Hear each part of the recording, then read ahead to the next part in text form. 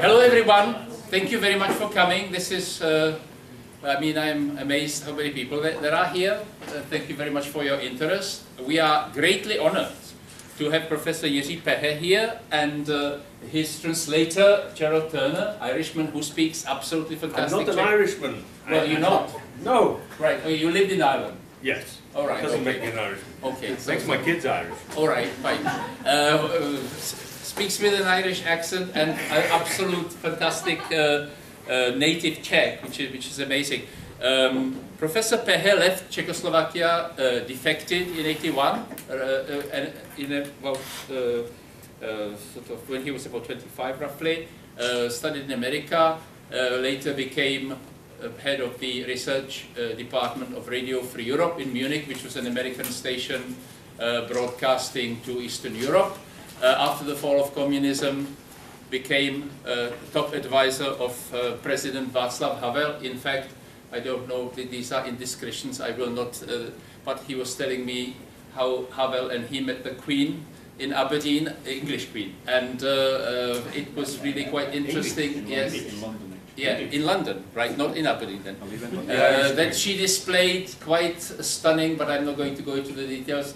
Um, uh, forms of uh, uh, really quite subversive humor, which is not something that you uh, expect of good old Elizabeth, but I'm reading. Anyway, Professor uh, Pehe is also um, um, currently he's uh, or for many years now he's been the head of New York University in Prague, um, the Prague branch, and uh, he's also he, he's, he's a very well-known commentator whenever anybody is interested in anything about the Czech Republic or Central Europe from uh, newspapers like Washington Post, the Irish Times, uh, New York Times, whatever they go, and everybody constantly quotes Professor Jiří Pehe. He's also a novelist, and um, he's written several novels. This one has come out in English, Three Faces of, uh, of an Angel, and it's quite interesting in the sense because it provides a framework for what we're going to be talking about here, because it kind of broadens the issue of the fall of communism and what is now whatever to a wider look at the 20th century. Professor Pehe, uh, 30 years ago, 17th of November, fall of communism, and now, over to you. What do you think? Well, well, thank you for the invitation, and uh, thank you that uh, I can uh, I can talk to you.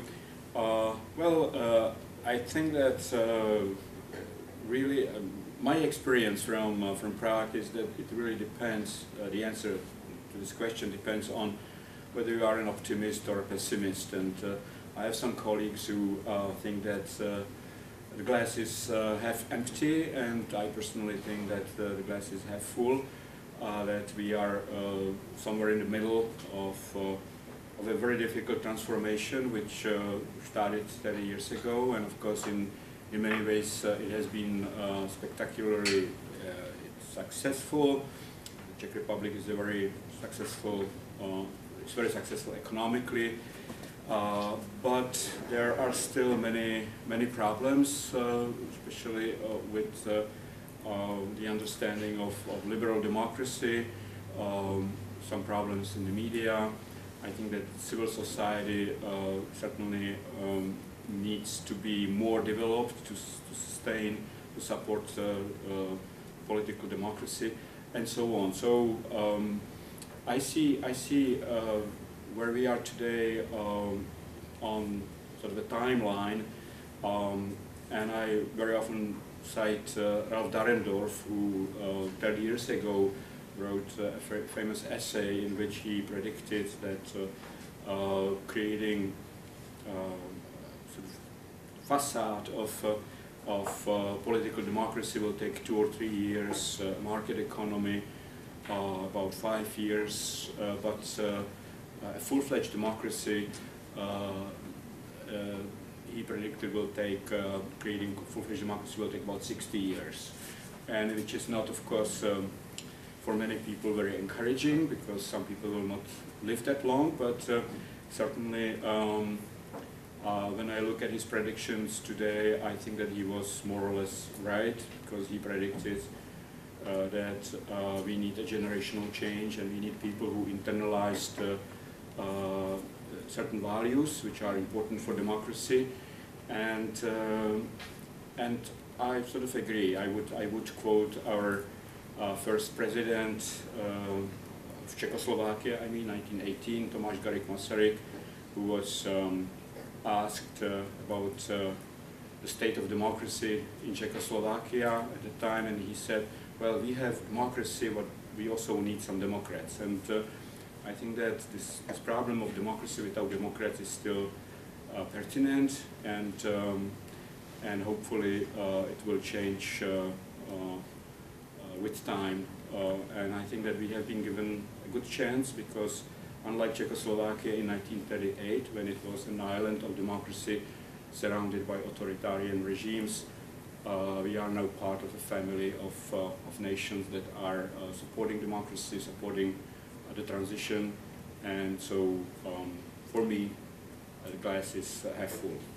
This afternoon, Mr. Rychetský in Prague gave a very stunning speech, which is already kind of discussed on the social networks. He's basically saying that the country has turned against the legacy of Václav Havel, and he was very critical uh, of the fact that the, and he basically says that it's the politicians, both East and West, because apparently, I mean, the, you had the financial crisis in 2008, and since then everything has kind of become destabilized, and what helped this, in inverted commas, um, was the refugee crisis, and he basically said that it is outrageous that uh, the Czech Republic can't even accept 30 ch ch uh, child refugees from uh, from the Greek uh, camps.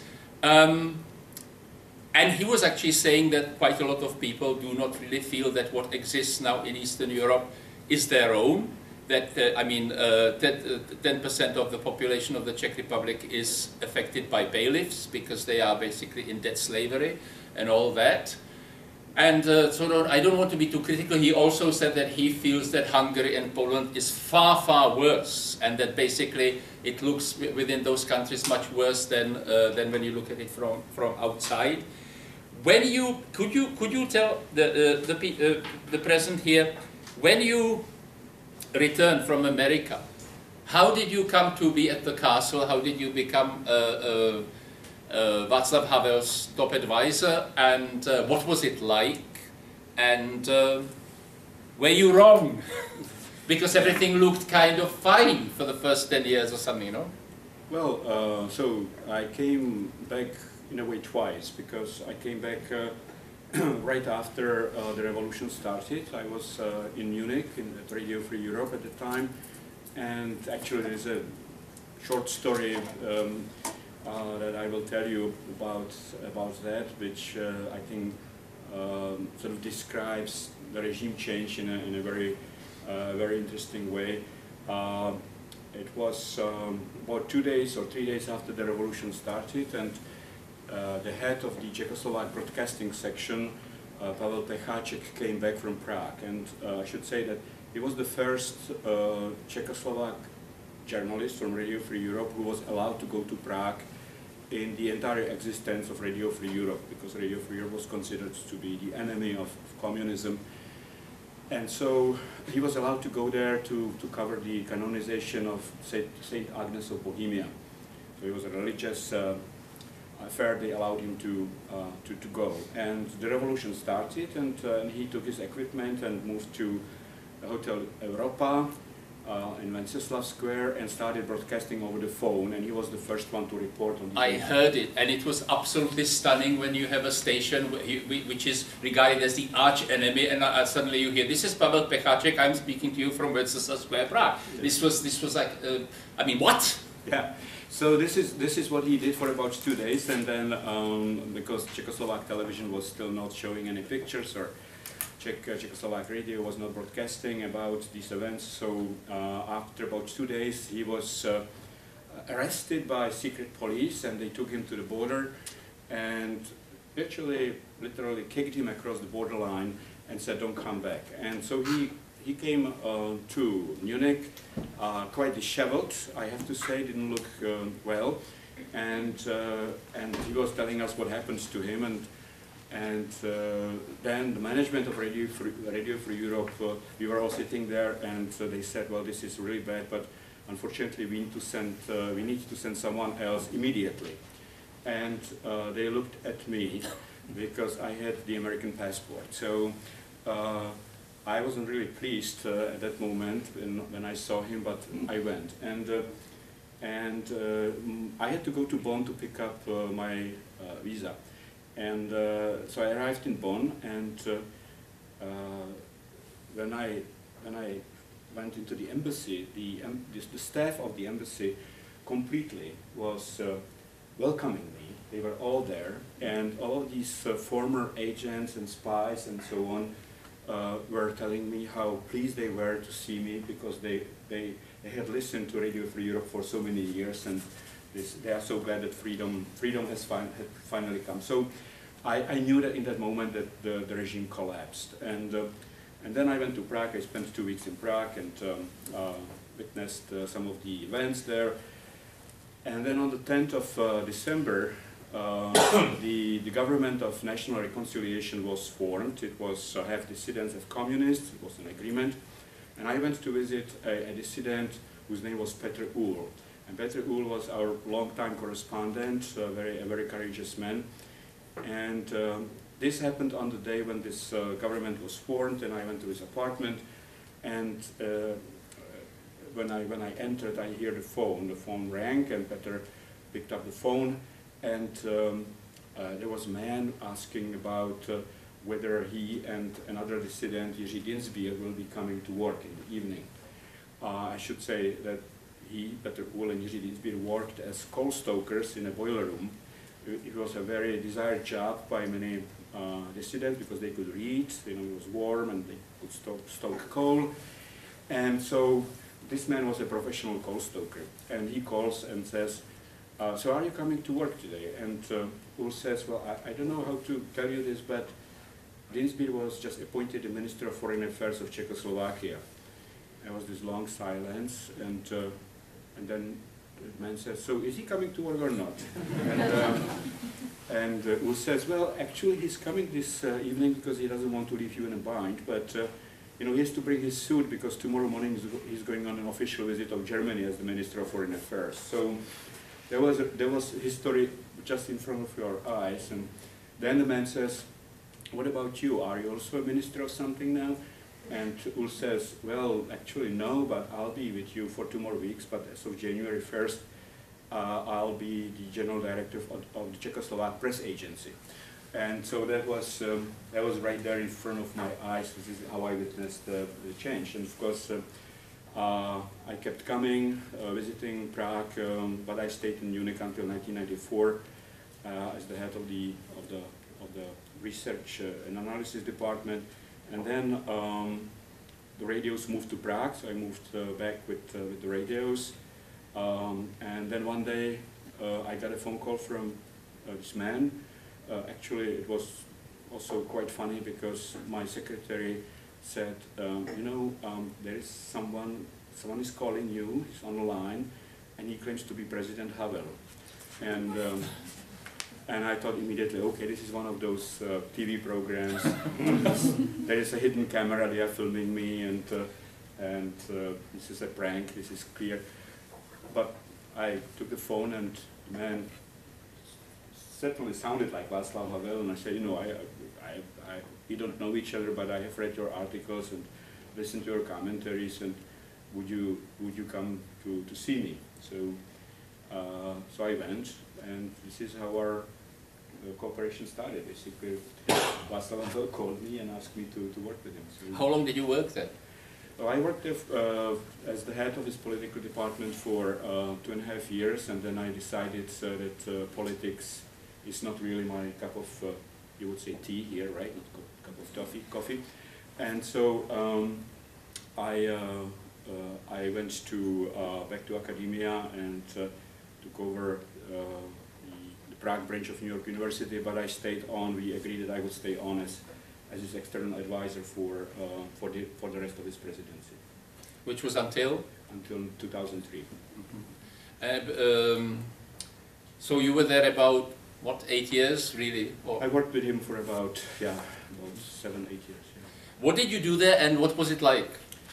Well, uh, okay, so uh, what is it like to, to head uh, a, a big uh, bureaucratic, uh, bureaucratic institution? Uh, basically, I had, as the head of political department, I was in charge of about um, 30 or 40 analysts who all, or specialists who all specialized in different countries around the world. Um, and they were sort of Havel's advisors on those particular parts of world. And then uh, about 10 or 15 people who dealt with domestic politics. Um, so that was that was the department, and uh, my role was to um, somehow uh, synthesize the, all this information and bring it in some digestible package to the president. Uh, of course, also to accompany him at various uh, meetings and uh, uh, trips abroad and, and so on. So it was really a, a very intensive period and and um, uh, enjoyable in some ways, although I, as I said, I didn't like being in politics, so I left, but uh, enjoyable in the sense of, uh, of being able to work with someone who was really um, a great human being with a sense of humor and, um, and in some ways a genius, I would say, playwright, and, uh, but really uh, uh, a man of, of remarkable um, abilities. Thank you. Before further questions, let's go over to, to Gerald, who was actually right there on the 17th of November in Prague as a reporter for the BBC. He used to write articles and he, he uh, when he, he published a lot of Czech fiction in translation under the acronym of AG Brain. So uh, yes, you did it with your wife. Uh, tell us your, about your experience since uh, 30 years ago this month in Prague. How did you get there and uh, what was it like? It's rather interesting. It was July 89.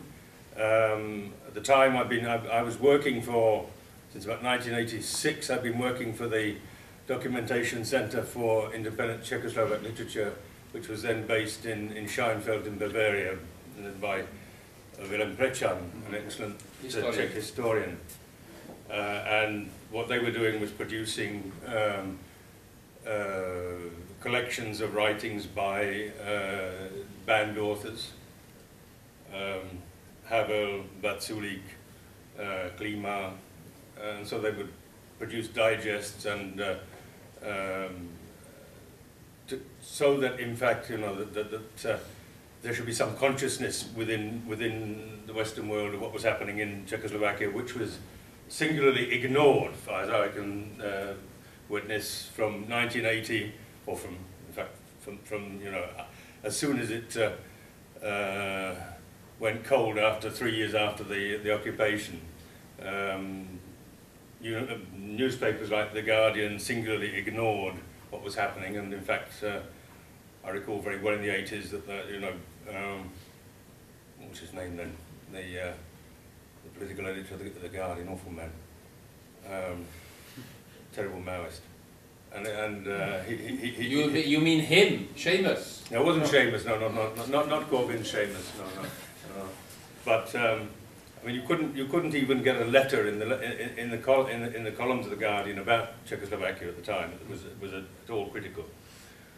Um, and so I've been, I've been doing this work as a, you know, as a translating uh, a lot of Czech dissident writers, uh, mostly extracts, but also I, I, I translated uh, a novel by, by Ivan Klima, and I, I, translated speeches and articles by Václav Havel during the, the late 80s. Um, and then suddenly, you know, uh, things started to happen. Um, what was known as the hot January of, of 1989, when uh, the commemoration of Jan Patočka's self-immolation, Jan Sorry, Jan Palach's self-immolation in, in, January, in January led to um, uh, police violence uh, and, and the arrest of Václav Havel, among others.